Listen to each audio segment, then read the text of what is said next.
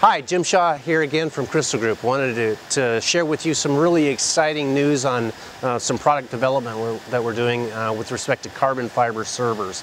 We've taken the carbon fiber technology and actually ruggedized it to the point that we can create server appliances for military or heavy industrial industrial applications. We do have a patent pending on this technology, but I would like to just show you a little bit about what it is that we're doing and the kind of products that we're making with it. Um, essentially, this particular uh, server right here is our RS-114 PS18, 18 inches deep, can take uh, four two and a half inch hard drives, has a DVD in it.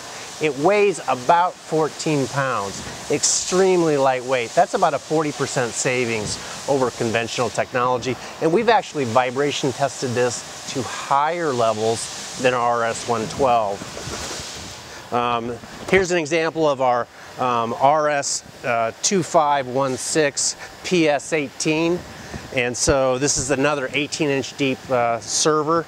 And uh, this one's unique in that it'll take up to 24 1.6 terabyte hard drives. So twin Xeon processors, uh, AC or DC EMI compliant power supply, um, lots and lots of storage.